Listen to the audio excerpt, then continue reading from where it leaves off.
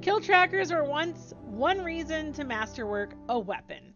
I mean, I don't really care about kill trackers, but uh, that's what the tracker thing in my Discord is for. Um, Charlemagne.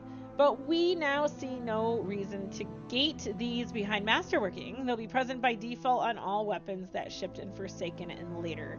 Exotic weapons prior to Forsaken will be updated in a later release. There is some cool stuff coming ahead. I promise you.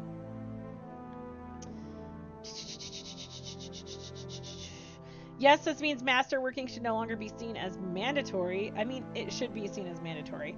And we expect that plus 10 to a weapon stat or plus 10 to primary stat, plus 3 to other stats for adepts to only matter to dedicated PvP players. Really? That's that's I don't like meaningless stuff in a game. They're basically taking away the reason for masterworking. We have I mean I still like my stats, but a lot of people aren't really going to care. We have no specific plans for changes to masterworking at this stage, but we'll revisit it later. Note that we did discuss gating the origin trait behind masterworking. But ultimately, this wouldn't have achieved the goal of weapon differentiation for non-masterworked weapons. I think they're putting too much thought into masterworking.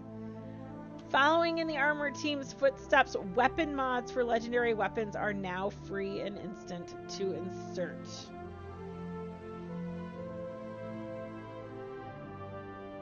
Really? Weapon mods for legendary weapons are now free and instant to insert. Oh, I know what they're talking about. Okay, like um, targeting adjuster, or like rampage spec, or dragonfly spec. That that stuff. Uh, major spec, boss spec. Okay. We believe that many pain points around special weapons in Crucible are exacerbated by how easy it currently is to acquire special ammo. And while we've touched this in the past, we're making a further adjustment now. Players now only drop one special ammo on death or equivalent, no matter how much they were carrying. I don't like that, it should be two. As long as they weren't completely empty. The maximum you can pick up off a special brick is one for a shotgun, fusion rifle, or sniper rifle. Like, if Di bear is carrying six special ammo, which may happen, um, I'll only drop one if I die. And I will die. Uh, scavenger mods add to this as normal, but we'll be evaluating their place in Crucible in the future. Players quickly found another way to execute the quick swap glitch, so we've fixed another animation cancel. Archetypes. The Season 15 Fusion Rifle rework had a lot of moving parts.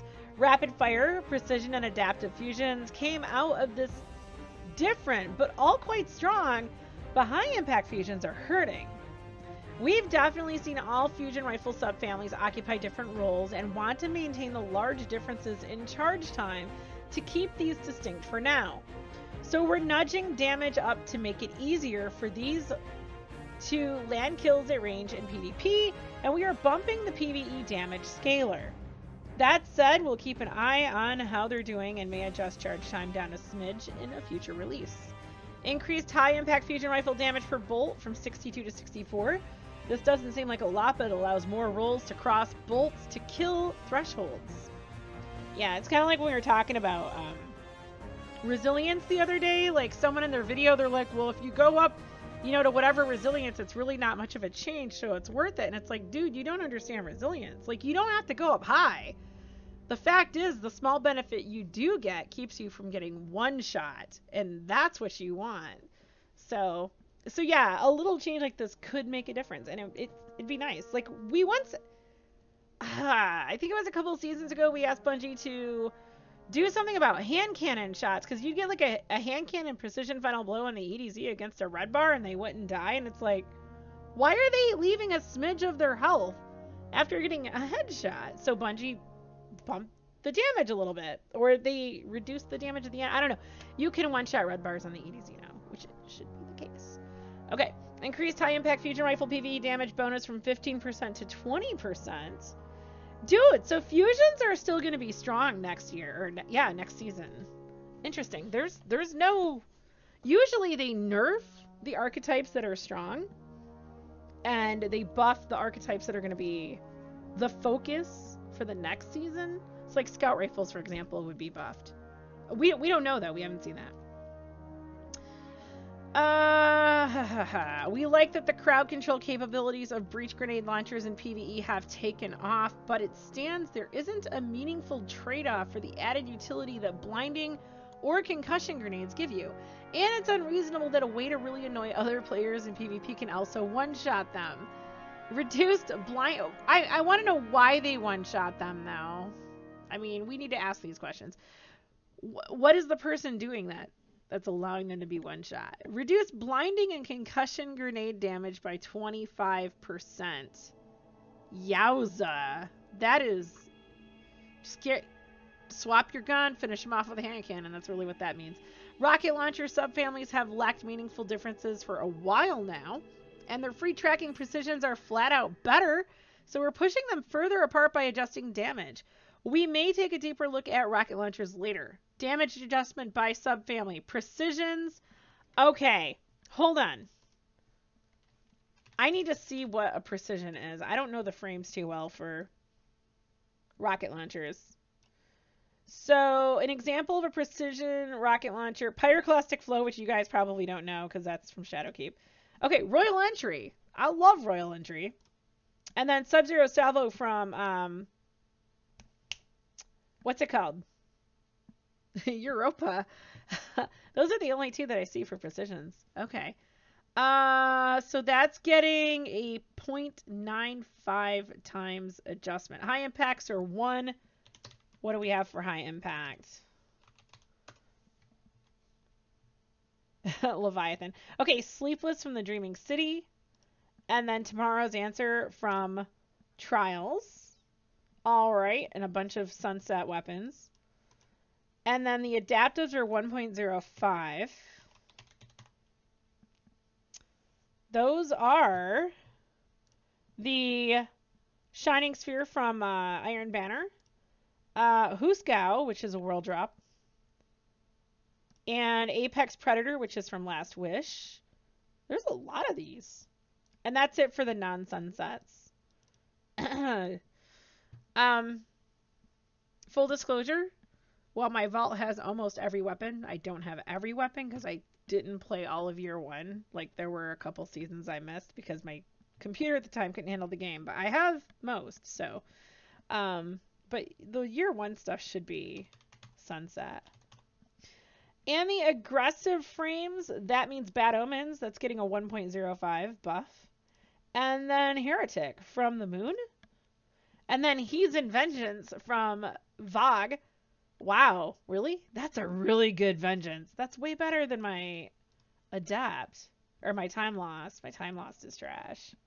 Okay, anyway.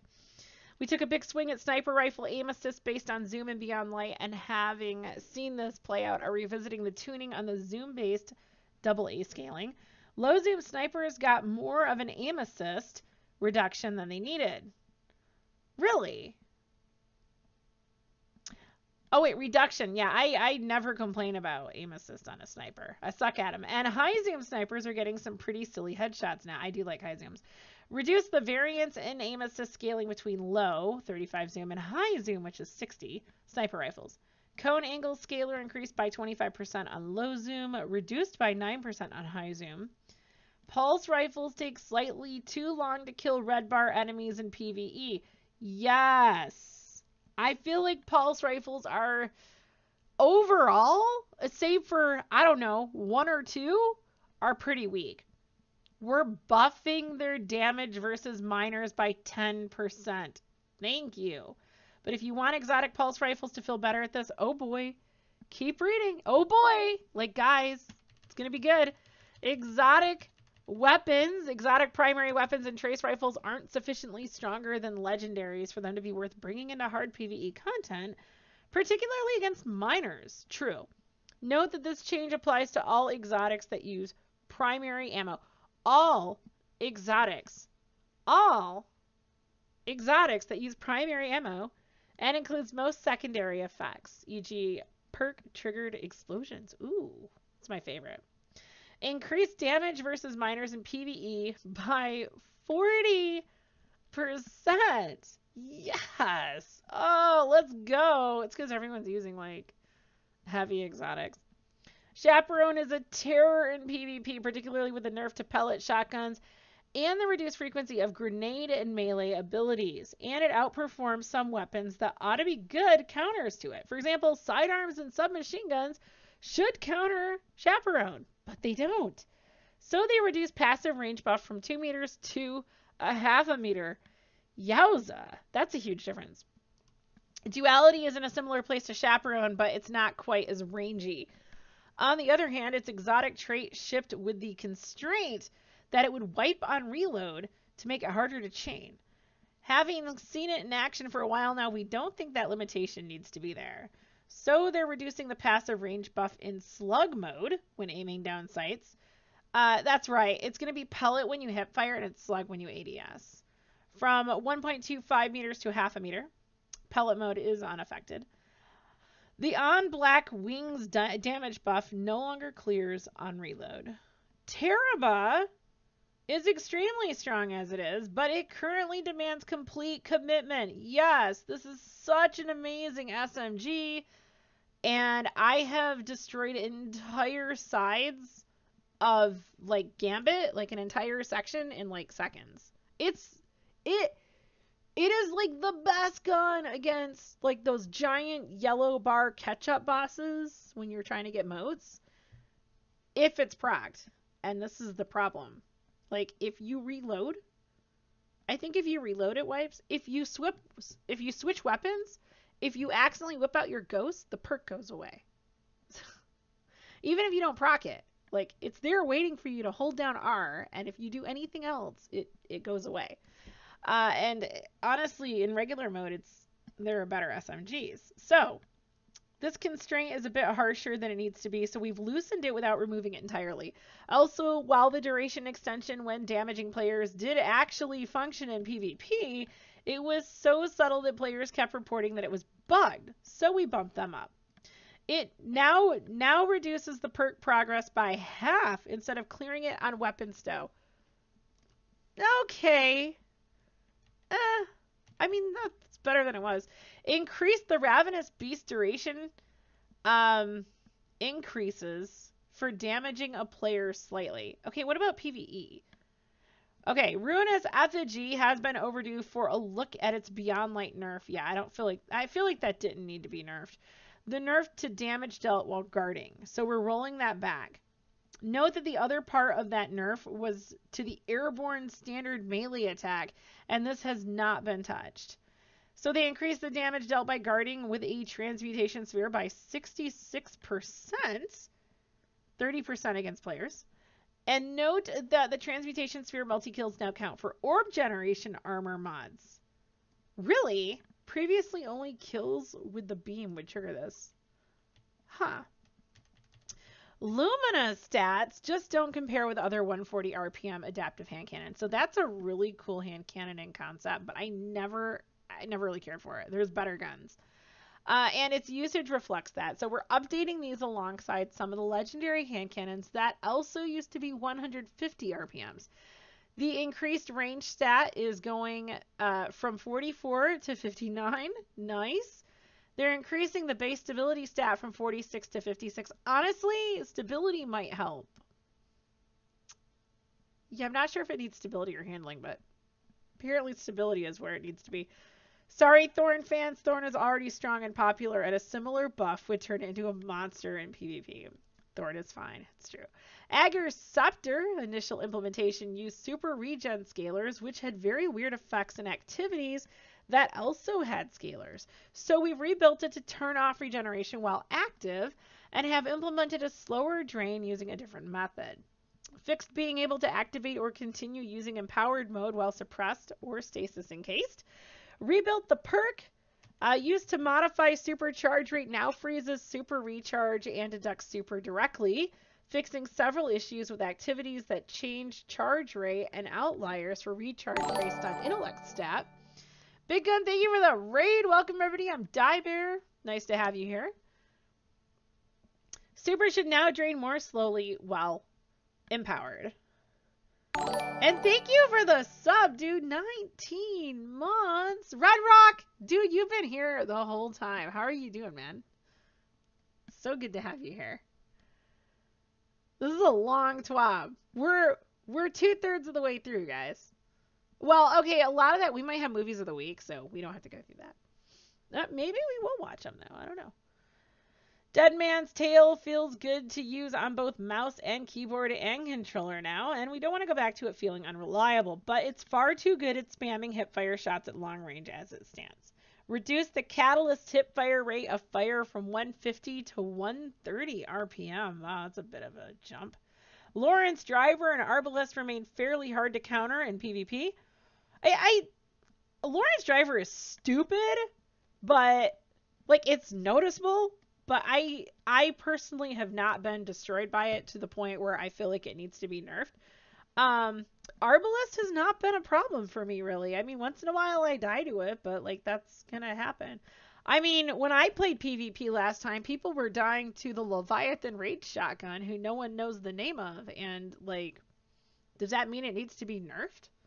Of course not. It's sunset. Yo,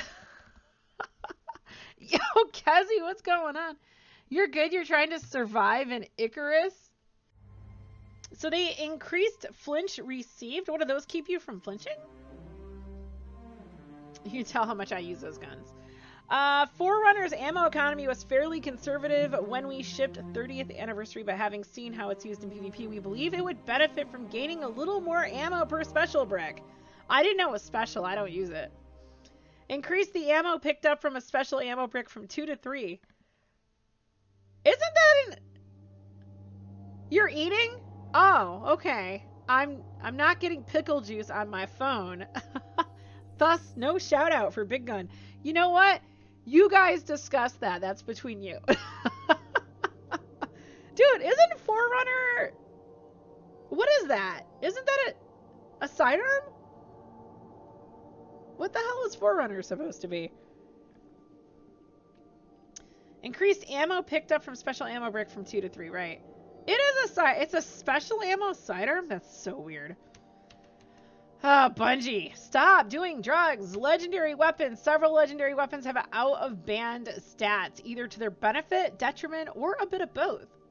When infusion caps were still around, this was okay because they'd cycle out eventually, but now the weapons remain viable in all activities indefinitely, and the solution is to adjust outliers to be in band.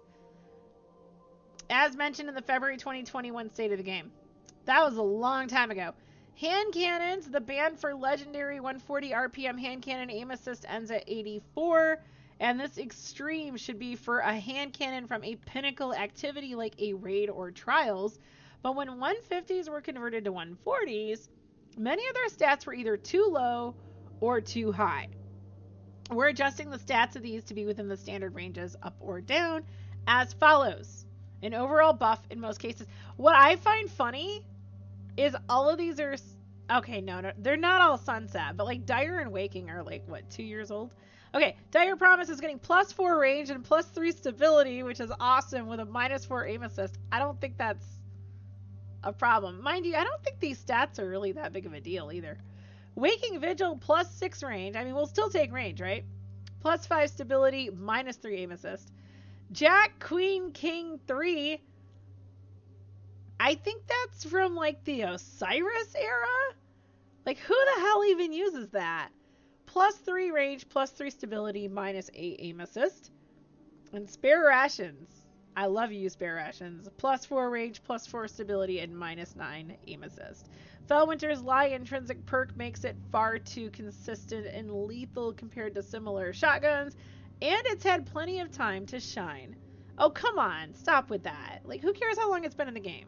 Just, just balance it.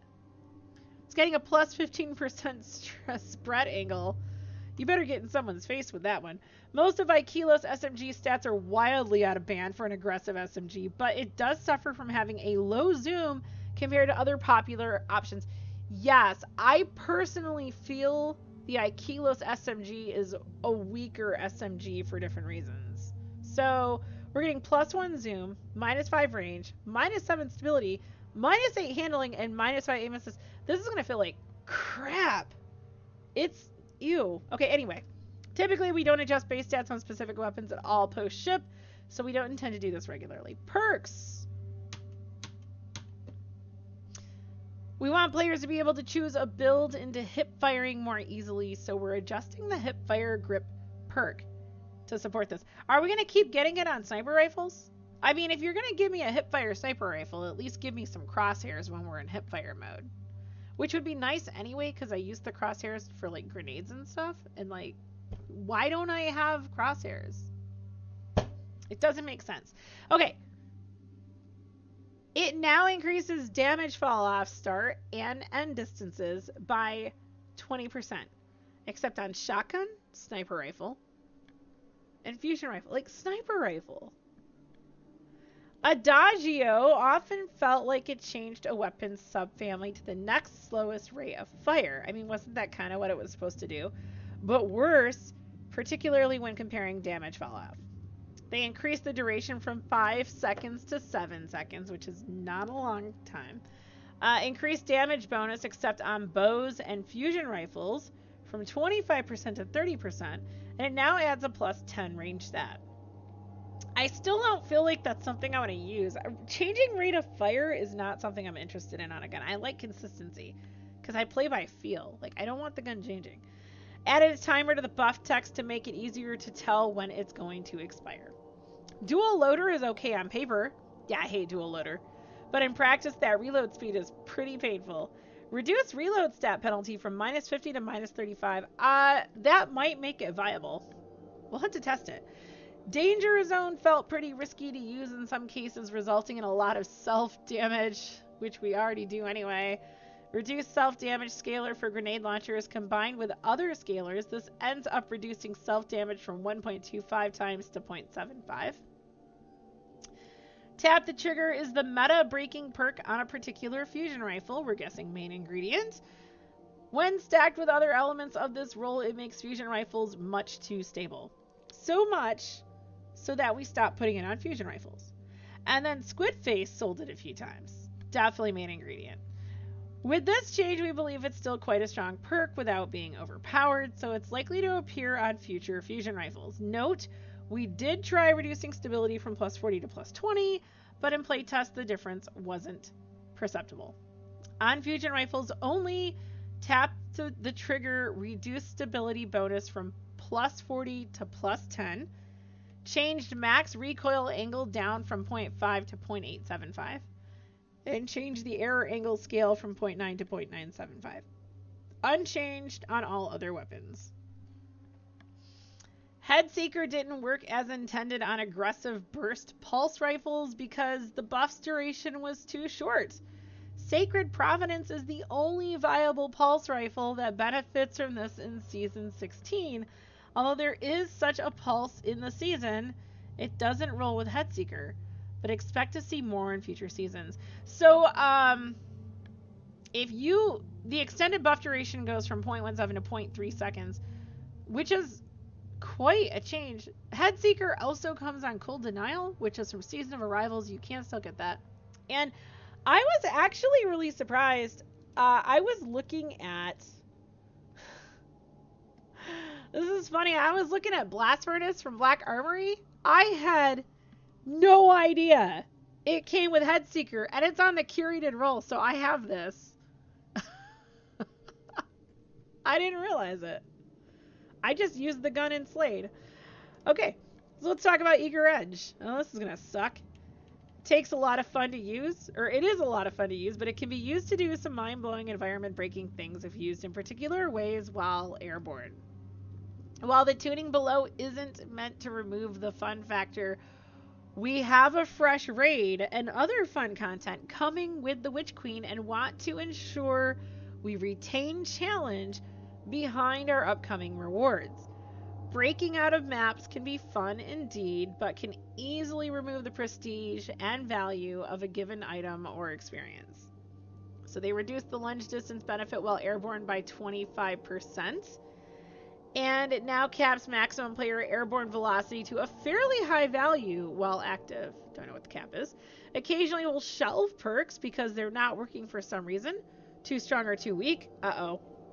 This means we won't put them on weapons in the future unless we change the perk. In many cases, we'd rather put design work into new perks than old ones, but there's a whole perks section here. Anyway, these perks are shelved. Some have been shelved for a while. Bottomless Grief and Celerity both were attempts to inject some uniqueness into Trials of Osiris and Nightfall weapons, which we're doing now with the origin traits. Yes, I sadly have those on weapons, and I would rather have something else. Underdog, um, man, what does Underdog do? I forgot. I, I never use it, guys. Underdog weapon trait. Destiny 2. Yo, Artifact, thank you for the raid. Dude, you're like the third person today. It's a lot of raids coming in. Welcome, everybody. I'm Di bear. We're going through the TWAB right now. Uh, Underdog. This weapon gains a boost to reload speed as your health gets... Yeah. Like, why would... I'd rather just go with Rampage and kill it. Like, if it's dead, it can't hurt me, right? Then you don't need the reload speed. I'm just saying. Underdog is so bad you literally don't know what it is. right, listen. I mean, there is a lot I know about the game. That one is special. It's okay. It's okay, Glitch. I got this one. I got this one. I didn't mess it up either. Viable, what were you doing? I you were doing dares, weren't you? Like, I need to do dares. We are gonna do some dares tonight, chat. Um, shield disorient. Now, this is an interesting one because uh, I have friends who actually like this. They're always like, "Oh, shield disorient," but to be real, they like every gun they get, even if it's trash. So, energy match shield explosion disorients nearby combatants. Um, I never go with this on a gun, so my heart is not broken. Okay, air assault. Though note that this may get a redesign in a future season. Okay, I had no idea what gun this was on. And come to find out it was on spare rations. And the reason why I happen to have Blast Furnace up is because I ha- I looked in my vault for Air Assault and this is the one that had it. So you gain increased handling while airborne. You know what's funny, guys? Is you could just go with Icarus Grip this improves accuracy while airborne. And a lot of people use this on like shotguns and stuff in PvP. So I don't know, air assault. You'd think like why the hell is it on a pulse rifle? You'd think that would be more of an SMG thing. Excuse me, it's on spare rations and blaster. Yeah, dude, it's it was available on those. So that was blast furnace. Let me pull up spare rations. So spare rations um, I read that it was on spare rations. I'm actually not seeing it, but I could have sworn I saw it here before. Interesting. Yeah, I'm not seeing it on spare rations. That's so weird. And they don't remove perks from D2 Gunsmith. But yeah, it was on Blast Blast Furnace. It would make sense on spare rations, like if you were to use it. Okay, let's let's keep going. I do have I I, I like spare rations. The near future in Season 17 will have a set of PvP focused weapon changes, including new ways for players to build for flinch resistance. That would be kind of nice. Dude, the flinch that we get in GM Nightfall sometimes, like when using snipers or raids, that would be nice for like doing DPS with snipers. Balance tuning for primary weapons. Are we actually going to balance weapons? We're looking at you, pulse rifles, lightweights in particular. Okay, so we're not going to just gloss over that. What are the lightweight frames for pulses? Lightweight. I like to actually know like what guns we're talking about. So with lightweights for kinetics, we're looking at Chattering Bone. Um, that's the only one. okay. Uh, let's look at energies. We've got Last Perdition, which is actually... No, that's adaptive. Why is that showing me lightweight? Infinite Paths is Sunset. Okay, Pleiades Corrector. I have two of it. Guys, lightweights aren't really that in the game. They're like there's two. there could be more than that, but like I I have that are not sunset. Okay. Next. Where was that? Special weapon tuning snapshot feeling mandatory on sniper rifles and PvP. Other balance changes. Um I wonder what they're going to do. I don't want them to ruin Snapshot. I like it in PvE. It just makes the gun feel fun. I don't want to see it nerfed just because people are using it. I hate that. Another PvP special ammo economy change, if needed. Adjusting how zoom outliers, both low and high, affect the performance of a subset of weapons. Scope column shouldn't be the most important thing on a weapon. This could take various forms uh, but the intent is to bring both high and low outliers towards the average to the overall benefit of the weapon archetype. And then we're also adjusting several multi-request or much requested exotics along with legendary perks. If you'd like to support this channel, liking and commenting on the videos tells YouTube to share these videos with others who may find them useful. If you'd like to provide monetary support to help keep this channel up and running, visit my locals and subscribe star communities.